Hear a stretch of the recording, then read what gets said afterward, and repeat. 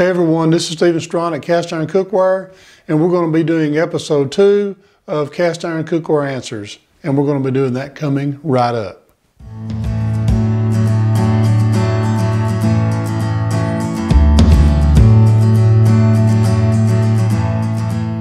Okay, here we are again answering some more questions from my subscribers here at Cast Iron Cookware, and I just want to say I appreciate you so much. And if you are not a subscriber, right now will be a great time to subscribe. And if you are a subscriber, go ahead and hit the notification bell. That way you won't miss out on anything when it comes out. And also, if you have questions about cast iron cookware, this channel, or even me, don't be afraid to ask. Leave them in the comments on this video, and I will do my very best to answer your questions. Question number one comes from Rod Pruitt. I'm just going to read this. There is another channel that mentions that they are concerned about iron leaching into the food, but I think if it is well seasoned, it is mostly inert. What have you found? Uh, thank you for the question, and it is a good question. I've done a little bit of research on iron, and I hope I'm pronouncing this right. Unless you have hemochromatosis, then it's not going to be a problem. That, uh, you know, in that case, you don't need any extra iron. But the thing is, if your cast iron is properly seasoned, it is covered by a polymerization of the seasoning. The uh, oils have been polymerized and it has actually covered the cast iron to where it's between your iron and your food and you're not going to be having any leaching of iron. I've heard people say that if you use iron skillets and cast iron cookware, then you're going to be helping yourself by adding iron to your diet. That's really not the case because of the polymerization. If you have a good seasoning, now if you're just cooking on bare iron, you're going to be getting a little bit of iron in your system. But if you are seasoning your cast iron well, then that's not going to be a problem. There's a coating that's impermeable and it's not going to be leaching through into your food. But if you have seasoning that has wore thin, there is a possibility of some iron getting into your food. But what I have learned, most people need iron in their diet.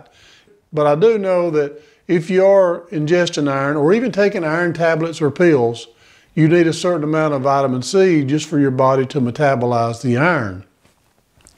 So if you're iron deficient, cooking in cast iron may not help you that much. I don't believe it's going to be a problem unless you have a disorder, like I mentioned before, and you have problems that you need to make sure that you don't receive iron. In that case, as long as your cast iron cookware is seasoned very well, then you won't have a problem with it. Okay, let's get on to our next question. Question number two comes from Evelyn Horsley. She was actually the winner of our Dutch oven giveaway, so congratulations again, Evelyn. I'm glad that you received your cast iron intact and in good shape. So here we go. Evelyn asked, do you like oven stripping of pans? And if not, why? Well, that is a really good question because there are a lot of people out there still using their self-cleaning oven uh, cycle to clean their cast iron. Now, heat cleaning can be dangerous. The problem with cast iron, and we've heard this all of our lives, that why don't you just throw it in the fire? Now, when you throw a piece of cast iron in the fire or even on hot coals, you are heating that cast iron up really quickly. And a lot of times you're heating it up wherever it landed on the coals, on one side or the other or on the bottom. Uh, you just don't have an even heating. And what happens when it heats up really fast on one side, it gets it, it actually expands uh, to a small degree on the side where all the heat's coming in, and the other side is not expanding and that's where you have warping. And that's when we run across pans that are called spinners or even pans that are cracked and warped. Now, a lot of times if you're cooking on the stovetop, I will say to take your pan and put it on the eye and let it heat up slowly. That way the sides will heat up as well. And I'll always say put it on low or even low to medium at most. And then when it gets warm, then you know you can crank the heat up a little bit because you're trying to bring up the temperature evenly. So even heat is the big problem with uh, throwing pieces in the fire. Now you say if you're putting it in the oven, then it's going to be heating up evenly, and that is the case. The next thing, the problem is, is the, the amount of heat you're actually putting in. Now, I know we season cast iron cookware at about 500 degrees with the type of oil that I use. So 500 degrees is kind of the top end of seasoning uh, cast iron, and that's pretty safe.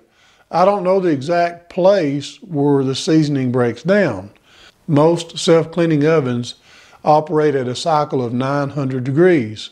Now, if you have an older self-cleaning oven, the thermostat may not work as well, so you can fluctuate I've heard of stories of ovens being measured at 1200 degrees, which is really high. So that's why I'm kind of afraid of it. Now, if you had a self-cleaning oven that maybe went to 600 degrees or 650 and it heated up evenly, then you may not have a problem. But control is the issue. If you can't control it, don't do it. That's one reason why I like the electrolysis uh, system and also the lye system is because you have absolute control. Well, as much as you can control a thing. So that's one reason why I stay away from it. Question number three comes from Judson Holt, and I'll read his question.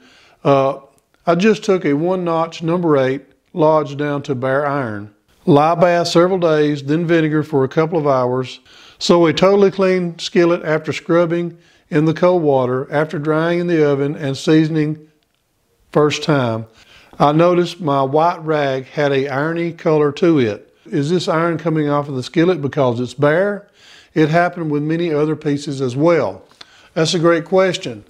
And uh, I'm kind of curious, really you don't know unless you're there. I get a lot of questions, you know, people asking me things and uh, unless I'm there or I see pictures or have a little more information, it's kind of hard to tell. You might be dealing with flash rust. A lot of times when you clean a piece of cast iron, and you get it in the sink and you scrub it down you, and you get all the gunk off and you're down to bare iron, if it dries in the air or even if you dry it in the oven, you can get what is called flash rust. Uh, there is a way to stop flash rust from happening. And what I usually do, as soon as I dry it while I'm washing it, I wash it with hot as water as I can when I rinse. And then as soon as I get through rinsing, I'll dry it off immediately with paper towels and cloths or whatever that you use. Now don't use some good towels because you will, you know, stain them up. I do have a black towel that I call it my stain-free towel and it works great. It's getting stained, but nobody knows it. So I'll go ahead and I'll dry it as quickly as I can and I won't put it in the oven to finish drying. Before it is even bone dry, there's probably still a bit of uh, moisture in it. I will either use Buzzy Wax and I'll go ahead and cover it with Buzzy Wax and massage it in all of it, or I will spray it with some grapeseed oil. And just go ahead and get it coated really quickly just before it ever has a chance to flash rust. And then I can let it set for a few days if I need to before I start seasoning. Now when I do get ready to season, I'll put it in the oven and let it get hot to about 250 degrees. I'll take it out and I'll wipe it down until it looks bone dry because too much oil can ruin your seasoning process. So, and the other thing is, if you are doing that process and you're not getting flash rust, usually the first layer of cast iron is going to have some uh, residue come off the iron. What I like to do is I have a, an older wipe down cloth that I have used until I really got stained up. I'll use it for the first layer, mainly because you will get some staining, you will get some discoloration off of the iron.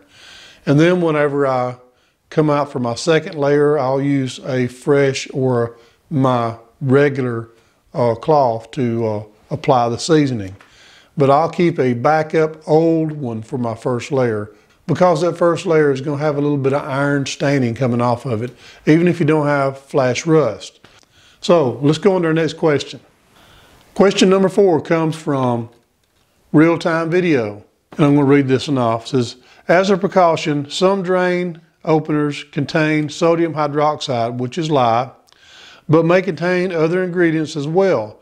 Make sure you purchase 100% sodium hydroxide. Red Devil Lye is a good brand that is 100% lye. I actually answered them in the comments and said I would pass this along because it is good information. So if you are using lye in your lye bath, always look at the ingredients and make sure that it is 100% lye. Thank you to Real Time Video for bringing this up. I appreciate it. Okay, question number five comes from Arkansas Fast Trail Riders. And they ask, when making an electrolysis tank and using a barrel, could you use a piece of concrete wire mesh and let it go all the way around the barrel as your anode? One thing about the anodes is whenever you're, you're building an electrolysis tank, your anodes are basically what we call sacrificial anodes. So it's going to be corroded and a lot of times you want to use stainless steel because it's easier to clean and it uh, lasts a lot longer and you don't have to worry about uh, it deteriorating quick. Usually it takes a little more time for stainless steel to deteriorate. Now you can use these. The only thing I would say is watch out for any pieces of metal like uh, galvanized or anything that has any kind of oils on it that may not be good for you to have in food grade. One thing about stainless steel is most of the time it is food grade. And because you're going to be eating off of your cast iron. So you don't want to use anything that has any harmful chemicals or any oils or paints or any kind of galvanized metal on it. Uh, you don't want that at all. The problem that I do see with this kind of mesh, a lot of time it looks rusty. And if you've ever done any construction work, and I've done plenty of construction work, a lot of times that wire that you use for your concrete, it's already rusty when you get it. So you may have a problem with it not working as good because it already has a certain amount of rust on it. So it may not last as long, but yes, you can use it as long as there's not any galvanized or any kind of coatings that's bad for you. So good question. Okay, question number six, and it is our last question. This is another one from Arkansas Trail Riders. It says, why do you not monetize your channel so you can make some money off of it and pay for your time and expenses. They are worth something. You do a great service doing what you do. Greatly enjoy all your vids. I appreciate that, Arkansas Trail Riders. I guess the short answer is my channel's not big enough yet. According to YouTube, in order to be a partner, you have to have a thousand subscribers and 4,000 view hours.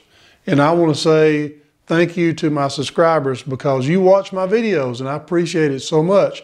I already have about 9,000 view hours, which is two and a half times what I need to get monetized. The problem is I got to have a thousand subscribers as well, but I'm almost there. A little bit more and I'll be there. Probably before this video comes out. I'm at 917 currently. I have about 83 more to go.